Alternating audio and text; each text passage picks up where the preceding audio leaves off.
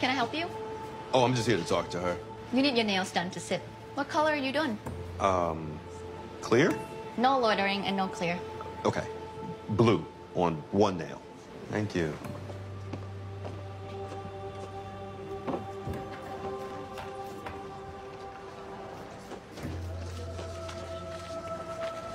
Can we talk now, please? We could, but there isn't much more to say other than you need to talk to the parent. Look, I understand. There just has to be another way to do this other than awkwardly talking to the parent first thing in the morning. Well, try it this way. You could talk to your student's parent right now. Hold on. Now, did you call her? I did not. But when you said it was Joel, I remembered that his mother comes here every two weeks to get her nails done, just like I do. Hey, Mrs. Howard. Hello, Amber.